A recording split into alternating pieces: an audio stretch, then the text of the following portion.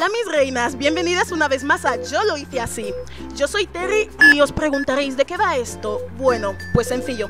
¿Alguna vez has llevado ropa hecha por ti en plan do it yourself y te han preguntado, pero ¿quién te ha hecho eso? Pues para eso estamos aquí. A ver, por ejemplo, ¿vale?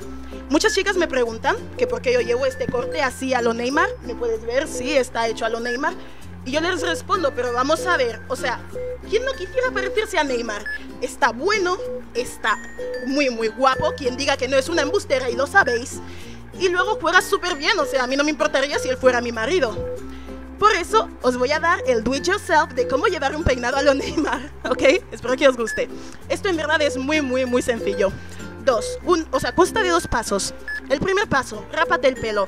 Sí, estamos en verano, las chicas nos gusta el pelo largo, se puede lucir, se puede mover, pero es verano, como ya dije, o sea, tu cabeza te lo va a agradecer, seguro. Y segundo paso, vete a la peluquería y llévale una foto de Neymar al peluquero, porque por ahí se han visto muchas desgracias, muchas. Y no voy a contar cuáles, pero ustedes saben. Y te explicaría más cosas, pero lo cierto es que no hay muchísimo tiempo, así que ya sabes, llévale la foto al peluquero, rápate el pelo y si no te queda tan bien como a mí, pues, o sea, sorry, yo no tengo la culpa de que Dios me hiciera tan guapa y tan perfecta, ¿sabes? Y nada, pero no se me lleven de odio, mis reinas, yo las adoro, así que que tengan muy buen día, un saludo y sean buenas.